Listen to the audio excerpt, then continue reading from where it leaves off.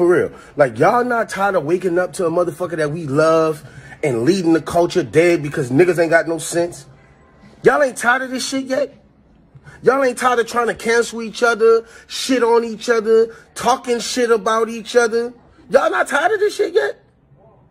Look how nigga doing Kanye, man. Look at this shit. Y'all think this is cool? Oh, he, uh, eh, eh, shut the fuck up, man. What are you doing to help? You think you pulling out your fucking cell phone and recording nigga while he on the ground in his last seconds? You think that's cool? You think that's your version of help?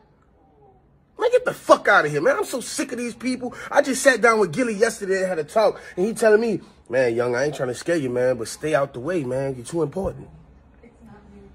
Too many innocent motherfuckers are getting killed. You know, and in my mind, I'm thinking I don't be doing no bullshit like that. I don't, you know, I try to stay from around the bullshit, but it don't fucking matter because they always got an asshole out here who do not care about the innocent lives that's around them.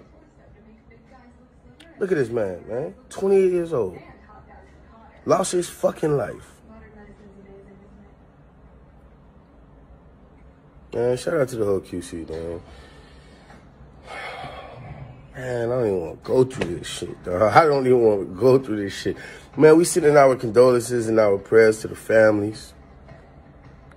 Man, this is a real fucking tough one, dog. I'm so fucking sick of y'all with this bullshit, man. I'm so fucking sick of y'all with this bullshit. That's all we know. Cancel each other, kill each other. These motherfuckers ain't even gotta do nothing. We gonna do it. Don't worry about it. We gonna do it. Give a nigga some liquor. Give a nigga some false courage. I bet you they come back shooting.